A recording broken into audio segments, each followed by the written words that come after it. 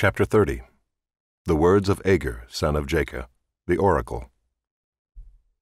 The man declares, I am weary, O God. I am weary, O God, and worn out. Surely I am too stupid to be a man. I have not the understanding of a man.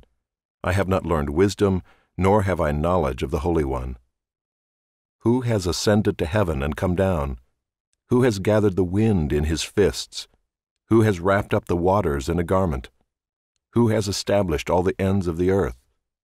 What is his name, and what is his son's name?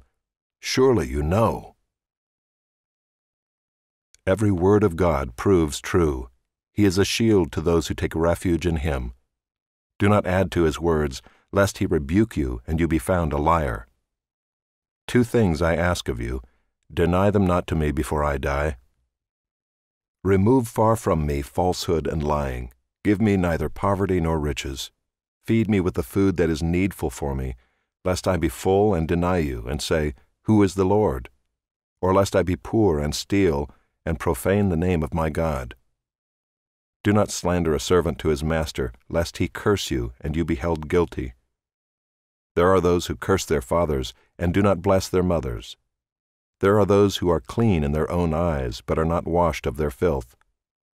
There are those, how lofty are their eyes, how high their eyelids lift. There are those whose teeth are swords, whose fangs are knives, to devour the poor from off the earth, the needy from among mankind. The leech has two daughters, give and give. Three things are never satisfied, four never say enough. Sheol, the barren womb, the land never satisfied with water, and the fire that never says, Enough. The eye that mocks a father and scorns to obey a mother will be picked out by the ravens of the valley and eaten by the vultures. Three things are too wonderful for me, four I do not understand.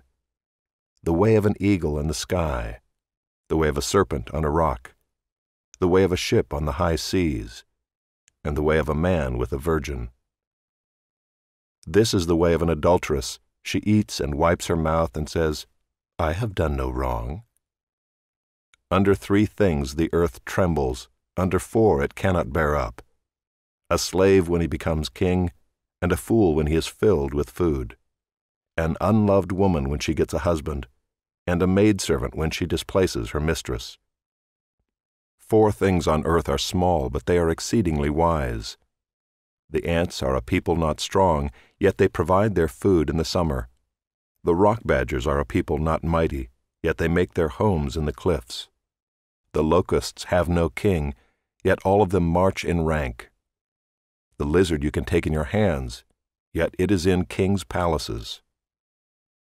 Three things are stately in their tread, four are stately in their stride the lion which is mightiest among beasts, and does not turn back before any, the strutting rooster, the he goat, and a king whose army is with him. If you have been foolish, exalting yourself, or if you have been devising evil, put your hand on your mouth. For pressing milk produces curds, pressing the nose produces blood, and pressing anger produces strife.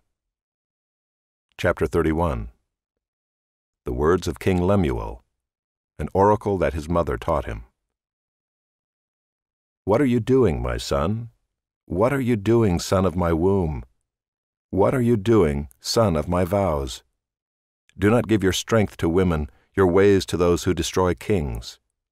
It is not for kings, O Lemuel, it is not for kings to drink wine or for rulers to take strong drink, lest they drink and forget what has been decreed, and pervert the rights of all the afflicted.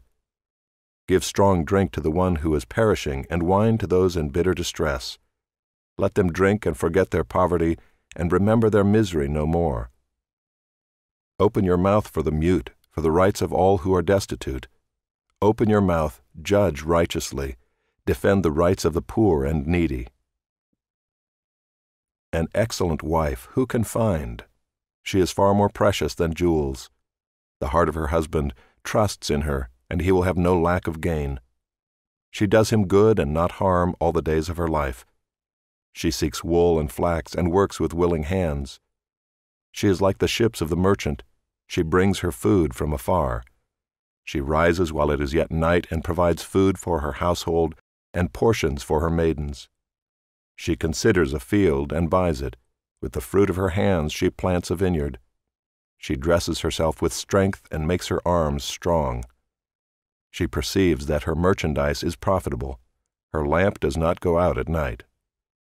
She puts her hands to the distaff, and her hands hold the spindle. She opens her hand to the poor and reaches out her hands to the needy. She is not afraid of snow for her household, for all her household are clothed in scarlet. She makes bed coverings for herself, her clothing is fine linen and purple. Her husband is known in the gates, when he sits among the elders of the land. She makes linen garments and sells them. She delivers sashes to the merchant. Strength and dignity are her clothing, and she laughs at the time to come. She opens her mouth with wisdom, and the teaching of kindness is on her tongue. She looks well to the ways of her household, and does not eat the bread of idleness. Her children rise up and call her blessed, her husband also, and he praises her. Many women have done excellently, but you surpass them all. Charm is deceitful, and beauty is vain, but a woman who fears the Lord is to be praised. Give her of the fruit of her hands, and let her works praise her in the gates.